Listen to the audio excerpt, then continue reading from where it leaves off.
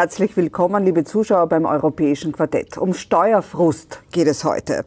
Wer zahlt eigentlich gern Steuern? Die Hauptlast tragen die Arbeitnehmer und es hat den Anschein, die Reichen richten sich's, schieben ihr Geld irgendwohin in Steueroasen und die Last tragen die Klein- und Mittelverdiener. Ist das gerecht?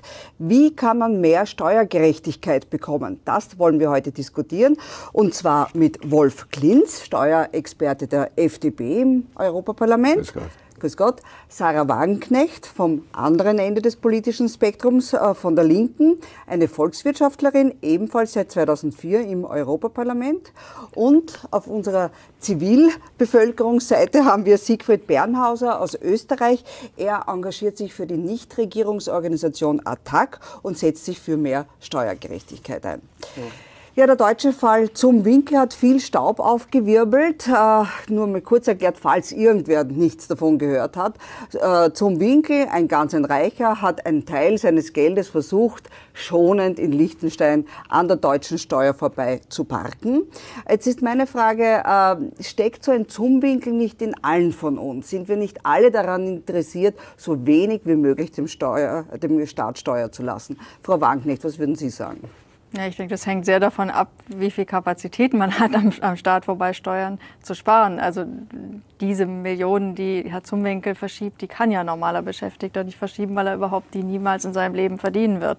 Und wenn jemand mit irgendwie, sage ich mal, 3000 Euro brutto meint, er kann da irgendwas äh, verschieben oder hat ein bisschen was gespart und kommt nach Liechtenstein, dann werden die Banken ihm ganz kühl sagen, also bitteschön, Sie sind hier an der falschen Adresse. Also das Problem ist ja, das ganze System ist ja so konstruiert, dass es eben gerade für Reiche nur geht. Also man muss schon sehr, sehr viel mitbringen, um im Liechtenstein zum Beispiel eine Stiftung eröffnen zu können und dort in irgendeiner Form sein Vermögen vom Fiskus zu schützen. Und das ist ja gerade diese Ungerechtigkeit. Ich meine, die Lohnsteuer, die wird vom Einkommen abgezogen, da kann man überhaupt nichts machen.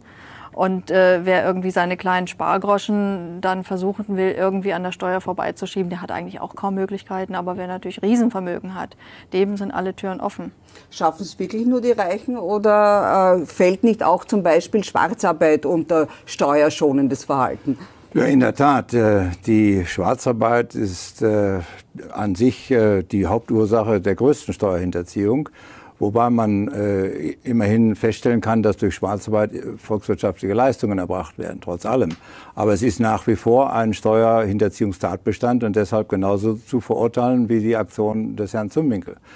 Äh, auf Ihre Frage, ob in allen von uns ein Zumwinkel steckt, würde ich meinen, äh, wir sollten äh, schon die Kirche im Dorf lassen. Steuerhinterziehung ist leider Gottes ein Tatbestand, äh, der nicht nur auf ganz wenig Ausnahmen beschränkt ist, aber ich wage trotzdem die These, dass auch die Reichen zum überwiegenden Teil steuerehrlich sind.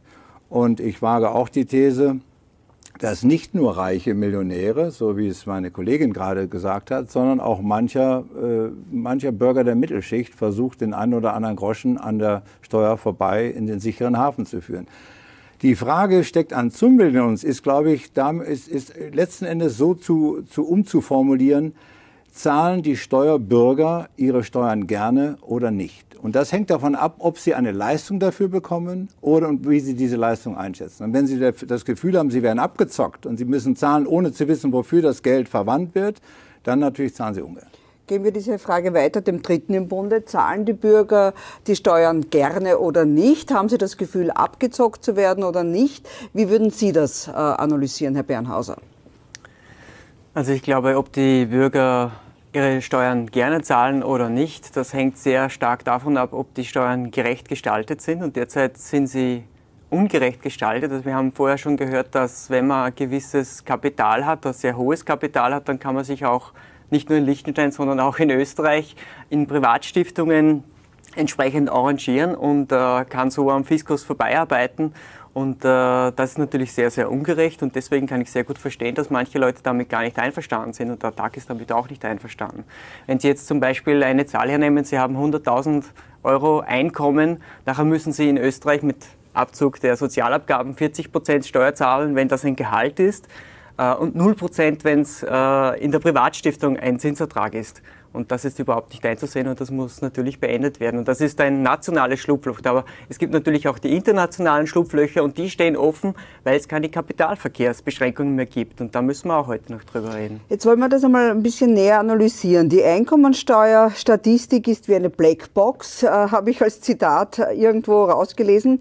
Äh, was feststeht, ist Folgendes. Die Hauptlast tragen die Arbeitnehmer. Ich habe sowieso eingangs schon erwähnt. Zwei Drittel bis drei Viertel der Steuerlast tragen die Arbeitnehmer.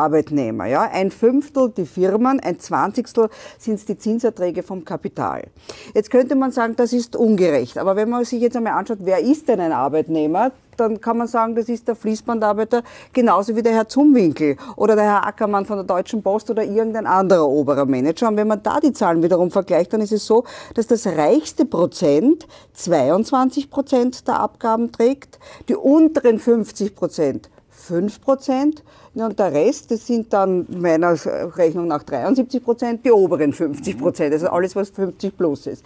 Jetzt ist es schon, kann man sagen, so ungerecht ist es dann wiederum auch nicht, wenn man nur die Arbeitnehmer hernimmt. Jetzt meine Frage, vielleicht belasten wir den Faktor Arbeit einfach zu stark mit Steuern. Könnte das sein? Es hat hier eine ständige Verschiebung stattgefunden und das ist ja tatsächlich das Problem. Also die Situation, die wir heute haben, die war ja noch vor 20, 30 Jahren etwas anders. Aber gerade weil wir in Europa eben völligen freien Kapitalverkehr haben, weil wir ganz unterschiedliche Steuersysteme haben, ist natürlich ein enormes Erpressungspotenzial bei denen, äh, bei den Faktoren, die beweglich sind. Und das sind Vermögen, das sind damit eben auch Kapitaleinkommen und das sind die großen Unternehmen und die Konzerne und damit eben auch die Körperschaftssteuer. Und man kann sehr genau sehen, dass genau diese Steuern in all den Jahren immer tiefer äh, immer tiefer gestuft worden. Also die Körperschaftssteuer, also die Unternehmenssteuern sind gesunken, europaweit ganz klar im Trend. Vermögen wird immer weniger besteuert und natürlich Erbschaftssteuer wird Erbschaftssteuern gehen immer weiter nach mhm. unten, auch weil man da schön das äh, Vermögen verschieben kann. Das gehört ja mit dazu. Und im Gegenteil muss der Staat sich natürlich dann das Geld woanders holen. Und das heißt, er bürdet immer mehr Steuern, eigentlich immer weniger Leuten auf oder vor allen Dingen immer den Leuten, die wenig haben, nämlich die, die abhängig beschäftigt sind, weil die sind greifbar. Lohneinkommen sind eben für den Fiskus gut zugreifbar und dem Konsum Konsum. Also das ist ja auch noch die zweite Entwicklung, die ich ganz problematisch finde. Wir haben immer höhere Konsumsteuern und die treffen wirklich die Ärmsten. Die treffen den Arbeitslosen, die treffen den Rentner. Und Aber sind nicht Konsumsteuern die gerechtesten Steuern? Weil so viel man konsumiert, ja. so viel zahlt man halt Steuer. Naja gut, äh, das ist schon richtig. Aber es ist natürlich so, selbst einer, der über ein Millioneneinkommen oder Vermögen verfügt, der kann nur ein gewisses Ausmaß an Konsum äh, äh, gewissen Ausmaß an Konsum aber wirklich dem fällt schon viel ein, naja, die gut, ganzen Porsches und Bentleys ja, und schon, aber trotzdem ist es so, dass relativ, da gebe ich meiner Vorrednerin schon recht, dass relativ natürlich ein Rentner oder eine kinderreiche Familie oder einer mit geringem Einkommen relativ gesehen zum anderen äh, mehr äh, zahlen muss, was die Konsumsteuer betrifft. Ich bin aber in einem Punkt nicht äh, einer Mann. Ich glaube, dass nicht nur die Gesellschafts- oder Körperschaftssteuern, sondern auch die direkten Steuern ja eine ich sage mal, Entwicklung hin zu weniger Steuern gemacht haben. Also in, wenn ich jetzt mein Land nehme, in Deutschland hatten wir einen Spitzensteuersatz von 53 Prozent plus Solidaritätszuschlag bei der Einkommensteuer. Der ist inzwischen bei 42 Prozent, für die Reichen sogar 45 Prozent plus Soli, aber doch spürbar geringer.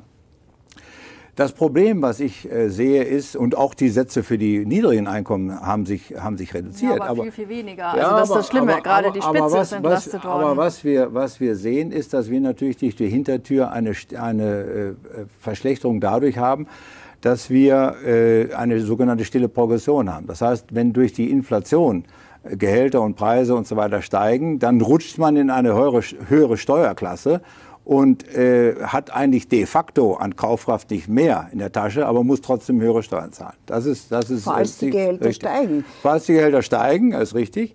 Nun, äh, und was die Erbschaftssteuer betrifft, die haben Sie ja vorhin angeführt, äh, da bin ich auch nicht sicher, ob man so pauschal sagen kann, die verschwindet. Das ist abhängig von den einzelnen Mitgliedstaaten. In Österreich ist sie zumindest ausgesetzt. Sie ist ja juristisch noch nicht äh, verschwunden, aber sie ist zumindest ausgesetzt.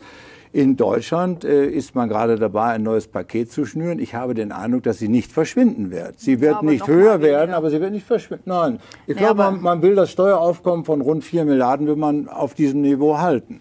So, so stellt also sich mir